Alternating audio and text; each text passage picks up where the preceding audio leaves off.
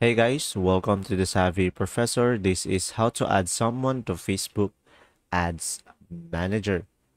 So guys, in order for you to do that, just click on settings over here. And from here guys, you will be able to see here ads accounts. So just click on this add accounts.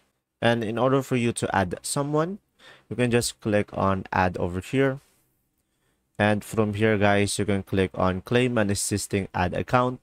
And in order for you to add someone just provide their ad account id and then from there guys you'll be able to add someone to facebook ads manager. Just simply provide their ad account id and then from there guys you will be able to send a request from them. And they have to accept it in order for you to add a user and there you go. If this video was helpful, please like and subscribe and thanks for watching. See ya.